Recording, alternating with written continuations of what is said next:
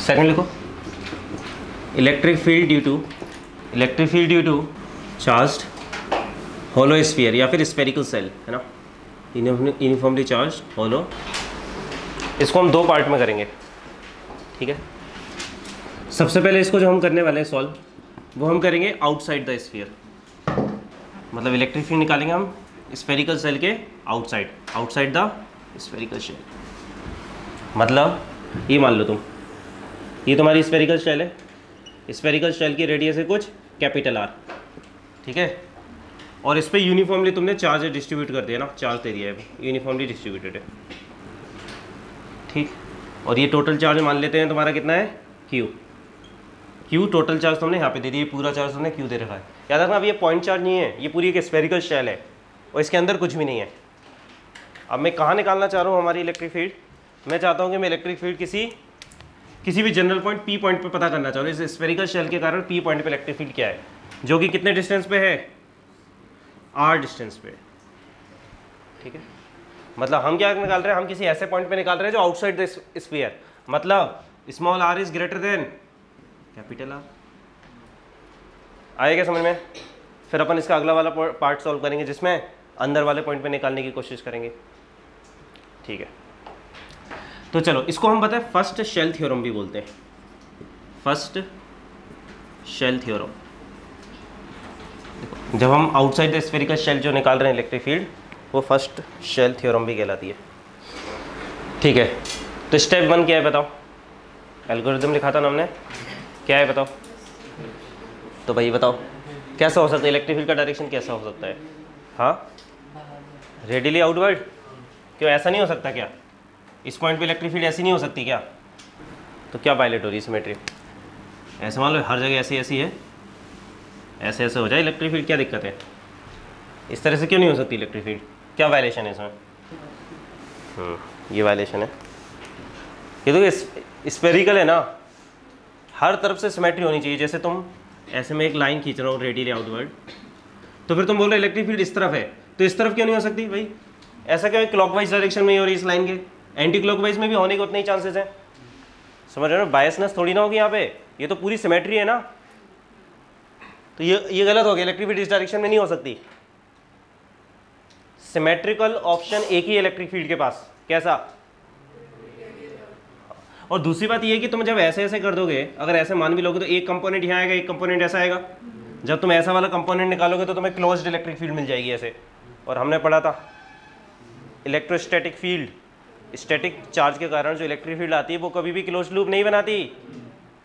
तो समझ हर तरफ़ से वायलेट और इलेक्ट्रिक फ़ील्ड ऐसी हो ही नहीं सकती। तो अब दो ही ऑप्शन इलेक्ट्रिक फ़ील्ड के पास। या तो रेडियली आउटवर्ड हो या फिर रेडियल इनवर्ड हो। और क्योंकि ये पॉजिटिव चार्ज है, इतना तो पता ही है। बाहर की तरफ़ निकल रही होगी ना इलेक्ट्रिक फ़ील्ड तो इलेक्ट्रिक फ़ील्ड कैसी हो जाएगी तुम्हारी? ये रेडियली आउटवर्ड आने लगेगी इलेक्ट्रिक फ़ील्ड तुम्हारी। मतलब ऐसे बनाते नहीं अपन। अपन ने मान ली इलेक्ट्रिक फ़ील्ड ऐसे रेडियली आउटवर्ड आ रही आउटसाइड द स्फीयर कर रहे हैं ना तो सिर्फ़ आउट आउटसाइड द स्फीयर हम कमेंट करेंगे। ये अपन ने इलेक्ट्रिक फ़ील्ड का डायरेक्शन मान लिया। गैस करा है ना इलेक्ट्रिक फ़ील्ड ऐसी होगी। और ये जो हम गैस मार रहे हैं ना, ये गैस नहीं बिल्कुल सही होना चाहिए एग्जैक्ट तभी आंसर आएगा। कुछ उल्टा सीधा मान लो पूरा गलत हो जाएगा। गौसलो नहीं लगा पाओगे फिर। ये गैस के मारे हमने स्ट्रॉन्ग करा ऐसा ही होगा, और कुछ है, ही नहीं उसके पास ऑप्शन और कोई पॉसिबिलिटी बचती ही नहीं है। अब बताओ, गॉसियन सरफेस कैसा माने अगेन स्फेरिकल भाई। क्योंकि बोला ना, ऐसा मानना है Gaussian surface such that it is perpendicular to electric field at all points ये भी स्फेरिकल सिमेट्री वाला कैसे हमारा। तो ये मान लिया हमने ना। स्मॉल आर रेडियस का हमने एक गॉसियन सरफेस मान लिया। स्पेरिकल है ना? लगाओ तुम लोग करो भाई। लगाओ गौस लो। आगे क्या? कितना आया? पॉइंट चार्ज जैसे ही आ गया। क्या ठीक है। करते हैं, चलो भाई। Gauss low. E vector dot T A vector क्या होता है? क्यू एन क्लोज बताओ, इस गॉसियन सरफेस के अंदर टोटल चार्ज कितना है? क्यू यही है ना, जो स्फेरिकल शेल पे पूरा का पूरा चार्ज इस गॉसियन सरफेस के अंदर है तो Q by epsilon naught again इसको कैसे ले सकते हैं भाई?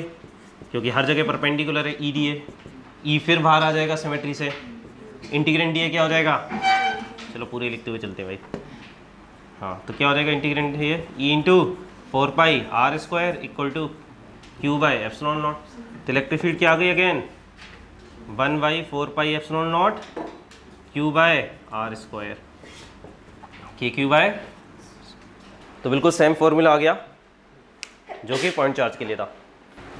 क्या क्या बोल रहे हो? सोचो बता क्या है? किस, कौन सा है वो डी ए है कहाँ तुम्हारा? ये बताओ। सोच के देखो। इस गॉसियन सरफेस का कोई छोटा सा एरिया लिया है ना इसको इंटीग्रेट कर रहा हूँ मतलब इस सरफेस पे इंटीग्रेट कर रहा हूँ। ये जो स्फेरिकल सरफेस है, इसमें छोटा छोटा एरिया लेता जा रहा हूँ हर जगह। तो कहाँ लिमिट की ज़रूरत है? किसी वॉल्यूम में इंटीग्रेशन थोड़ी ना कर रहे हैं हम। ये क्लियर है क्या? तो यही फ़र्स्ट फ़र्स्ट शेल थ्योरम है ना, कि जब भी हमको इलेक्ट्रिक फ़ील्ड निकालनी है स्पेरिकल शेल के कारण आउटसाइड पॉइंट पे तो स्पेरिकल शेल को हम क्या कर सकते हैं? पॉइंट चार्ज की तरह रिप्लेस कर सकते हैं ना। तो लिखो लिखो। फ़र्स्ट शेल थ्योरम में लिखो first shell theorem to find the electric field outside the spherical shell it can be considered as it can be replaced by point charge kept at its centre to find the electric field outside the spherical shell all of its charge can be considered at its centre है ना? तो मैं ऐसे मान सकते हैं कि पूरा का पूरा चार्ज यहाँ पे रखा हुआ है। क्योंकि आंसर बिल्कुल सेम आ रहा है हमारा, फ़र्क नहीं पड़ता ना। तो ये तो याद बिल्कुल हो ही गया, अभी ऑलरेडी याद हो चुका है हमको, है ना? ठीक है। अब अगला क्या बचा है बताओ? The spherical shell लिखो second, inside the spherical shell small R is less than capital R इसको हम बोलते हैं second शेल theorem. यहाँ पर अब तुम्हें कहाँ निकालनी है भाई? सेम स्पेरिकल शेल है हमारे पास, पर इस बार हमें किसी पी पॉइंट पे निकालनी है, जो कि शेल के अंदर है ना। तो ये डिस्टेंस है आर तो स्मॉल हमारा लेस देन है कैपिटल आर तो अगेन भाई डायरेक्शन क्या होगा इलेक्ट्रिक फ़ील्ड का बताओ? सिमेट्री की डिमांड है भाई। कैसा होगा? जो भी होगा रेडियली होगा, इतना तो पक्का है ना। अंदर बाहर पता नहीं कैसा होगा, जैसा भी होगा रेडियल होगा। तो तुम तो कहीं भी मान लो, हम मान लेते हैं रेडियली आउटवर्ड है। अगर वो असलियत में रेडियली इन्वर्ट होगा तो नेगेटिव आ जाएगा। वो दिक्कत नहीं है ना। पर ये बात पक्की है होगा तो रेडियली होगा ना सिमेट्री के कारण। तो गॉसियन सरफेस कैसा मानेंगे हम? भाई स्पेरिकल शेल में तो स्पेरिकल सिमेट्री ही आएगी। ये हमने गॉसियन सरफेस मान लिया। चलो करते फिर से, बताओ। Integral E vector dot D A vector equal to Q enclose by epsilon naught कितना चार्ज एनक्लोज करा है इस स्फेरिकल शेल ने? बताओ। इस स्फेरिकल शेल के अंदर कितना चार्ज है? ज़ीरो, है ना? क्योंकि सारा का सारा चार्ज इसके बाहर है। तो ज़ीरो बाय एप्सलॉन नॉट और ये क्या हो जाएगा तुम्हारा? ई e बाहर निकालेंगे। इंटीग्रेंट ए क्या आ जाएगा? Four pi R square equal to zero by epsilon naught तो इलेक्ट्रिक फ़ील्ड कितनी आई? इनसाइड वाले पॉइंट पे ज़ीरो ये तुम्हारी सेकंड शेल थ्योरम है। अब ये याद रखना है। देखो सेकंड शेल थ्योरम लिखो। Electric field inside the spherical shell is zero और देखो, जब भी मैं स्पेरिकल शेल बोल रहा हूँ, उसका मतलब है यूनिफॉर्मली चार्ज ये चीज़ मैंने यहाँ पे मेंशन कर दी है। वरना ये सारे, इनमें से कोई भी रिज़ल्ट वैलिड नहीं होगा। क्लियर है ये? ठीक है, ये याद रखना है तुमको, ये दोनों चीज़ें। आगे बढ़ते हैं फिर थर्ड पे आ जाओ। थर्ड देखो electric field due to uniformly charge electric field due to uniformly charge non conducting solid sphere electric field due to uniformly charge non conducting solid sphere ये है तुम्हारे पास भाई। कैपिटल आर रेडियस का solid sphere है। इसमें charge भाई पूरी की पूरी वॉल्यूम में डिस्ट्रीब्यूटेड है। समझ में आ रहा है क्या? हर जगह पूरे में है ना यूनिफॉर्मली डिस्ट्रीब्यूटेड है चार्ज मतलब एक तरह से बोल देते हैं जो रो रो क्या होता है तुम्हारा? Charge per unit volume rho throughout क्या है? कांस्टेंट यूनिफॉर्मली चार्ज का मतलब क्या होता है? रो कांस्टेंट है ना? अगर रो कांस्टेंट नहीं होगा तो जो रिज़ल्ट अभी हम पढ़ रहे हैं वो तुम नहीं लगाओगे। क्योंकि हम जो पढ़ने वाले वो यूनिफॉर्मली चार्ज के लिए पढ़ने वाले आ रहा है समझ में? ठीक है। तो इस पर टोटल चार्ज अगर मैं बोलूँ क्यू है, अगर इस पर बोलता हूँ टोटल चार्ज क्यू है तो क्यू और रो में क्या रिलेशन होगा बताओ? Q equal to rho into four by three pi R Q तो वो इंटर कन्वर्ट कर सकते हैं। कुछ भी दे सकते हैं, वो तो मैं क्यू दे देंगे या रो दे देंगे। वो तो कन्वर्ट हो ही जाएगा, है ना? रो क्या है? चार्ज पर यूनिट वॉल्यूम तो चार्ज क्या आ जाएगा? Rho into volume rho charge density है ना? वॉल्यूम चार्ज डेंसिटी ठीक है। तो इसको भी हम दो पार्ट में सॉल्व करेंगे। जब भी इस तरह की प्रॉब्लम आएगी, आप सारे दो पार्ट में सॉल्व हुआ करेंगे ना। एक क्या होगा? बिल्कुल देखो, एक आउटसाइड वाले पॉइंट पे करेंगे सबसे पहले। मतलब small R is greater than capital R तो मान लो भाई पी पॉइंट यहाँ पर है। अब जल्दी जल्दी करते जाओ तुम लोग। तुम लोग जवाब दो जल्दी से मेरे को इसका। आउटसाइड वाले पॉइंट पे बताओ। गॉसियन सरफेस भी ऐसे ही आएगा? बताओ इलेक्ट्रिक फ़ील्ड का। पॉइंट चार्ज किधर होगा क्या? Integral E vector dot D A vector Q enclosed तो सारा का सारा चार्ज भाई स्फेरिकल शेल के अंदर ही है। तो अब तुम समझ रहे हो हम दो पार्ट में क्यों करते हैं ऐसे? है ना? आउटसाइड और इनसाइड के लिए अलग अलग क्योंकि आउटसाइड वाले में तो सारा का सारा चार्ज अंदर आ जाता है। तो ये क्या हो जाएगा? E into four pi R square Q by F naught तो अगेन ये तो बिल्कुल सेम आ गया K Q by R square electric field at outside point तो यूनिफॉर्मली चार्ज स्फीयर के सारे के सारे चार्ज को हम कहाँ रख सकते हैं? उसके सेंटर पे। आउटसाइड वाले पॉइंट पे निकालने के लिए। इनसाइड नहीं आउटसाइड एक तरह से ये बहुत सारी स्पेरिकल शेल ही तो हो गई। सॉलिड स्फीयर मतलब बहुत सारी स्पेरिकल शेल कर लो। तो सेम यही रिज़ल्ट आना था। ठीक है। क्या कर रहे थे अपन भाई? इलेक्ट्रिक फ़ील्ड ड्यू टू क्या था अपना? Uniformly charge non conducting solid sphere ये तुम्हारा है भाई। रो है क्यू क्या? इसका सेकेंड पार्ट सॉल्व करते हैं। इस बार मुझे इलेक्ट्रिक फ़ील्ड निकालनी है किसी इनसाइड पॉइंट पे है ना? मतलब मैं मान लेता हूँ कोई पी पॉइंट यहाँ पर है कहीं पर भी। कितने? स्मॉल आर डिस्टेंस पे है। तो इनसाइड मतलब small R is less than capital R तो बताओ यहाँ पर इलेक्ट्रिक फ़ील्ड क्या होगी? करो सॉल्व रो आर बाय सही है। कितने लोगों का हो गया? सबने कर लिया गया ठीक है, चलो देख लो जल्दी से ना। अगेन भाई स्फेरिकल सिमेट्री है तो इलेक्ट्रिक फ़ील्ड या तो रेडियली आउटवर्ड होगी या रेडियली इनवर्ड ठीक है तो हमें पता है जो भी आएगा क्वेश्चन सरफेस कैसा आएगा तुम्हारा? स्फेरिकली आएगा। ये क्वेश्चन सरफेस मान लिया मैंने spherical Gaussian surface small R radius का। तो लगाते हैं। Integral E vector dot D A vector equal to Q enclose by epsilon naught ठीक है?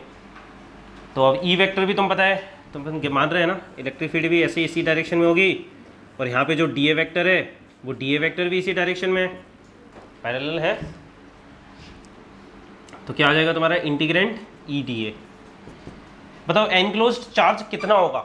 इस इस वॉल्यूम के अंदर। Rho into four by three pi R cube small R cube है ना? आ जाओ बाई एफ़ नॉट अगेन अब ई e बाहर आ जाएगा भाई, क्योंकि जो गॉसियन सरफेस माना है, जहाँ पे तुमने एलिमेंट माना है अपना डी ए बाहर तो हर जगह इलेक्ट्रिक फ़ील्ड कॉन्स्टेंट है। तो ई e बाहर आ गया, और डी ए कितना हो गया? Four pi R square capital R square क्यों भाई? स्मॉल आर ना। अरे ये है ना तुम्हारा Gaussian surface integrate Gaussian surface पे कर रहे हैं ना। इक्वल टू क्या हो गया भाई? Rho into four pi R cube by three epsilon naught तो फोर पाई से फोर पाई गया आर स्क्वायर से ये गया। तो इलेक्ट्रिक फ़ील्ड आ गई तुम्हारी। Rho R by three epsilon naught या फिर के क्यू आर बाय दोनों ही याद रखने। दोनों, एक नहीं, दोनों याद रखोगे। तुम बताओ ना चार्ज एनक्लोज किसके अंदर होता है? गॉसियन सरफेस के अंदर होता है ना, गॉसियन सरफेस तो ये ब्लू वाला है। स्मॉल आर लेंगे ना।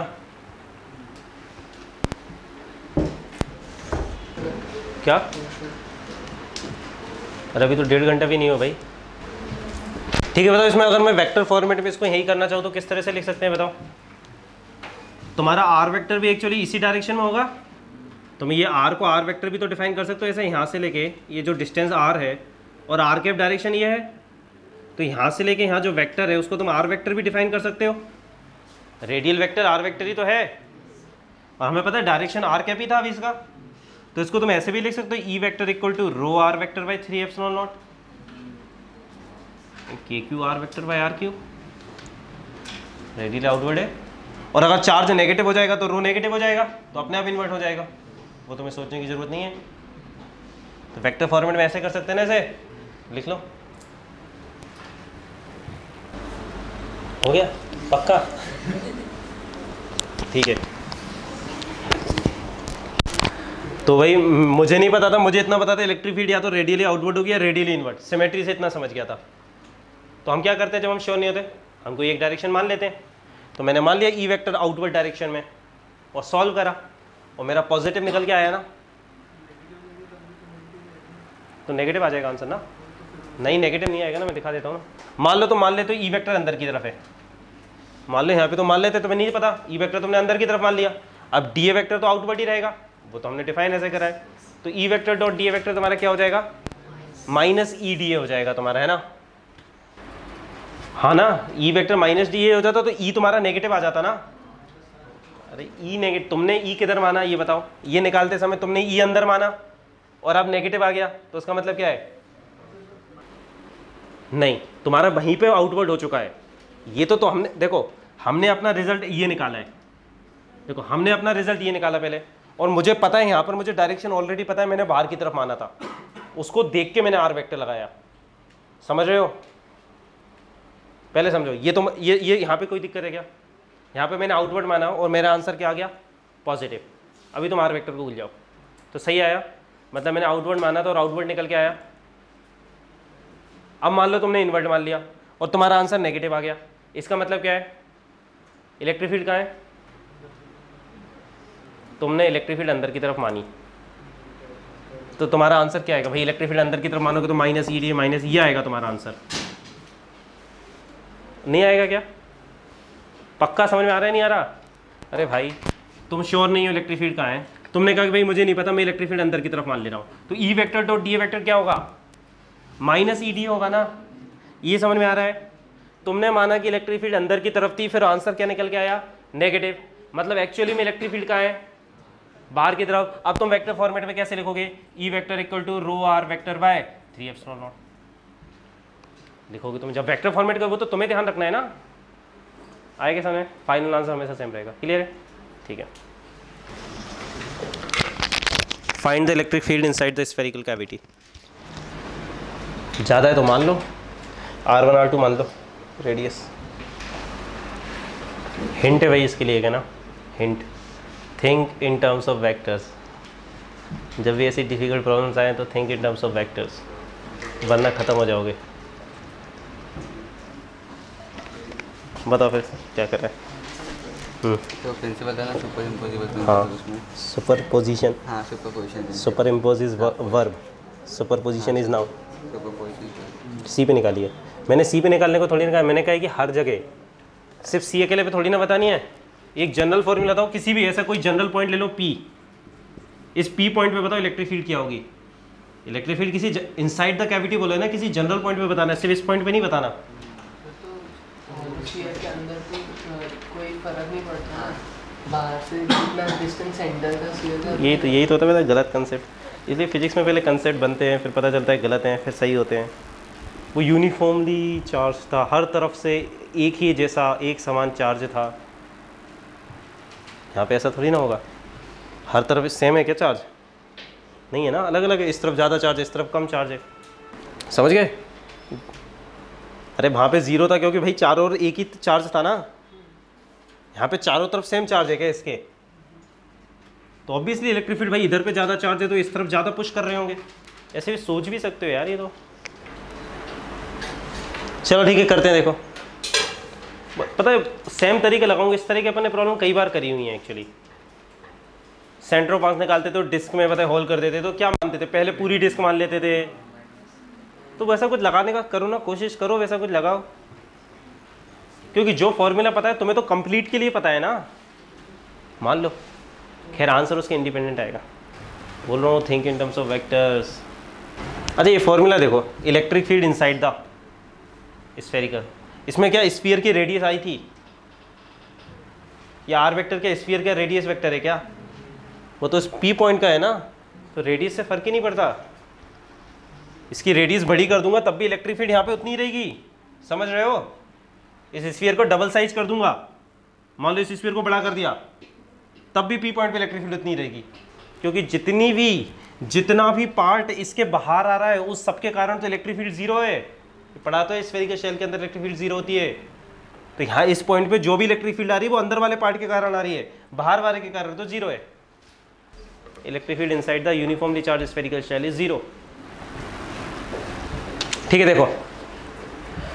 चलो, अब हमारे पास जो फॉर्मूला है, वो तो यूनिफॉर्मली चार्ज सॉलिड स्फीयर के लिए तो हम मान लेते हैं कि यहाँ पर भी प्लस प्लस चार्ज यहाँ पर भी है ना। ये पूरा कंप्लीट स्फीयर है, पहले मान लेते हैं।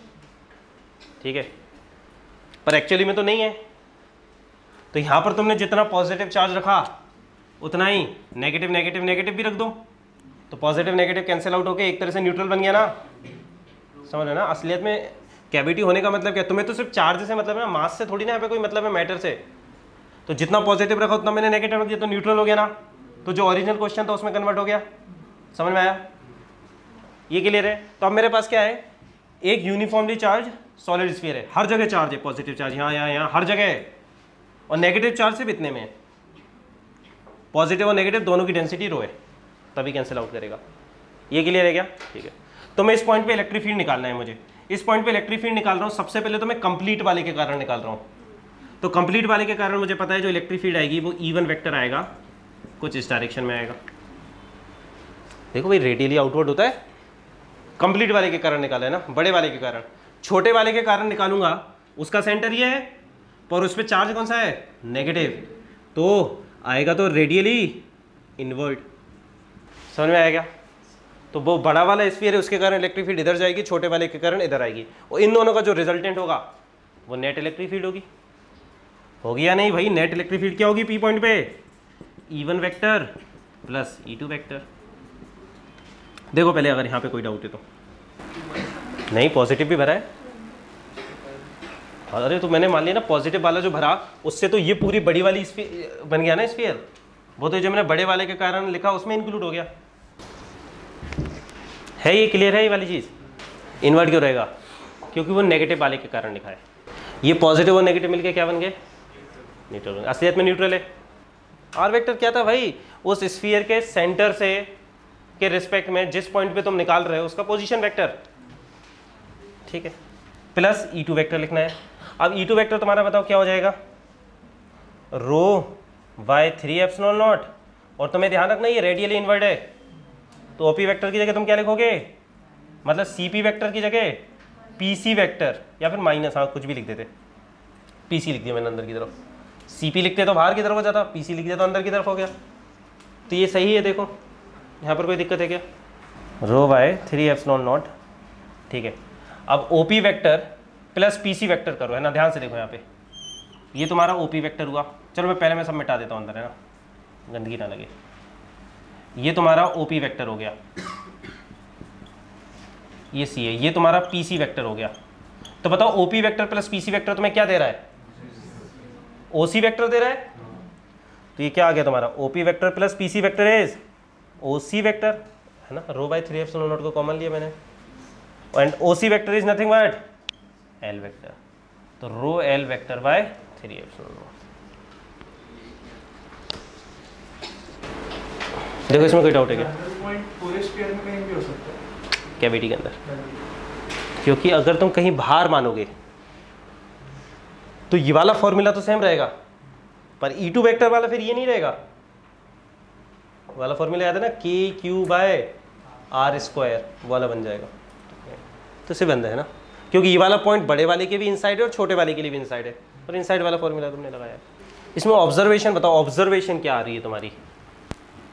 इस रिज़ल्ट को देखकर क्या ऑब्ज़र्व कर रहे हो तुम? हाँ ये है पी पॉइंट की पोजीशन के ही इंडिपेंडेंट है वो। ये सबसे बड़ा है भाई, कि मतलब ये तुम्हारी कैविटी है। एक्चुअली में यही है ना, यहाँ पर जो इलेक्ट्रिक फ़ील्ड आएगी, तुम किसी भी पॉइंट पे देखो। इलेक्ट्रिक फ़ील्ड का मैग्नीट्यूड डायरेक्शन सब कुछ हर एक पॉइंट पे सेम रहेगा। और वो किसके पैरेलल है? ओसी वेक्टर के पैरेलल है। मतलब इस स्पेरिकल कैविटी के अंदर यूनिफॉर्म इलेक्ट्रिक फ़ील्ड क्रिएट कर रहे तुम। और ये कंप्लीटली यूनिफॉर्म इलेक्ट्रिक फ़ील्ड है, यहाँ पे कोई अप्रोक्सीमेशन नहीं है। तो अगर तुम एक ऐसी स्फेरिकल शेल क्रिएट कर दो स्फेरिकल स्फीयर उसके अंदर कैविटी क्रिएट कर दो तो यूनिफॉर्म इलेक्ट्रिक फ़ील्ड मिल रही है। देखो रो को rho by three epsilon naught constant L vector एक कांस्टेंट था, इन दोनों के सेंटर के बीच का डिस्टेंस वो देखो डायरेक्शन भी तो हर जगह तुम्हें एक यूनिफॉर्म इलेक्ट्रिक फ़ील्ड मिल रही है इसके अंदर। ये पॉइंट पी की पोजीशन के भी इंडिपेंडेंट है। है ना? बस वो याद रखना, वो इसके अंदर हो। बाहर ये सब फॉलो नहीं होगा। जैसे इधर से बाहर निकल जाएगा सब बदल जाएगा। सारा एनालिसिस अंदर के लिए था।